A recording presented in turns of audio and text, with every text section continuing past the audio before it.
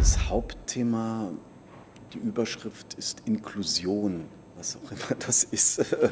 Früher ist es Integration, das war mit Geld und, und jetzt heißt es Inklusion, das ist ohne Geld.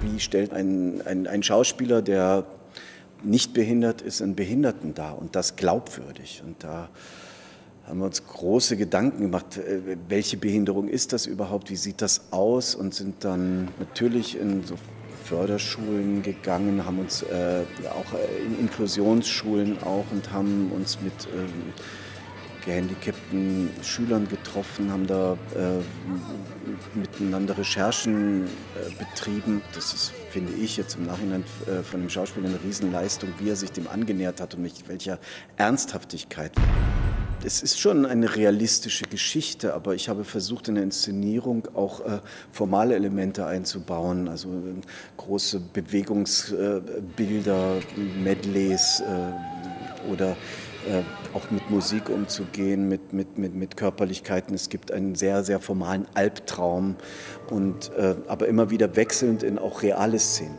Wir wissen, dass viele behinderte Kinder einsam sind, und aber in unserer Geschichte kommen die beiden zusammen, oder die drei, da kommt noch ein Mädchen dazu.